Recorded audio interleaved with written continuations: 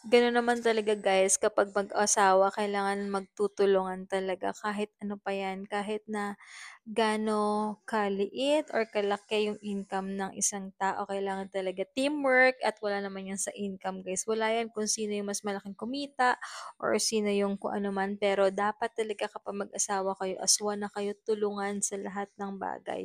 Maraming maraming pong salamat sa pag-appreciate at sa prayer niyo talaga or prayers niyo. Maraming maraming maraming pong salamat. Talagang alam niyo na-a-appreciate ko kaya kung kaya ko talagang isa-isahin, why not? Pero alam niyo na 'yan guys, marami pong salamat. Super grateful po kami talaga sa mga taong katulad niyo. Yung prayer niyo, yung support niyo, malaking tulong po talaga. Kaya siguro alam ni God na mag-isa akong lalaki at kaya niya ako dinala sa social media para 'pag dumating 'tong time na pagsubok ko is makakakuha ako ng support from you kahit hindi tayo magkakilala guys. Pero ramdam ko po talaga kahit yung emoticons emoticon lang na na prayer, sobrang laking bagay na po sa amin. Super na-appreciate po namin 'yun.